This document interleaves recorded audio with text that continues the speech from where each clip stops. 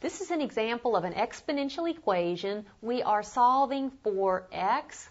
In this case, we can either write the bases as the same or we can't. If we can write the bases as the same, we can solve without logarithms. If we cannot rewrite each of these so that the bases are the same, we'll use logarithms to solve. Now notice I can write 1 over 64 as 8 raised to some power. So in this case, we can make the bases the same. I'll leave this left side alone. That's 8 raised to a power of x minus 1 is equal to, now 1 over 64 is 64 to what power? It's 64 to the negative 1 power. And then let's continue. I'm just rewriting the left side. 64 itself, 64 is 8 squared, so the square would be multiplied by negative 1, and this is 8 to the negative 2 power. Now you could have done this right side in probably one of two orders.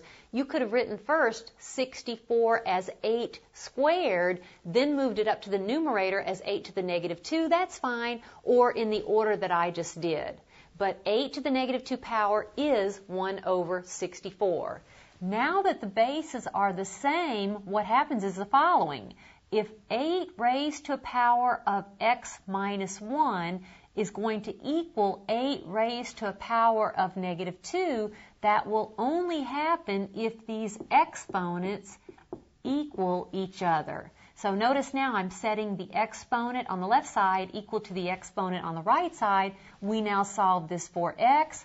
And how do we solve for x? We add 1 to both sides, and I'll have x is negative 1. Now I'll let you check. I'm saying negative 1 is the exact solution here. You check exponential equations just like every other equation. You check by replacing your proposed solution for x in the original equation.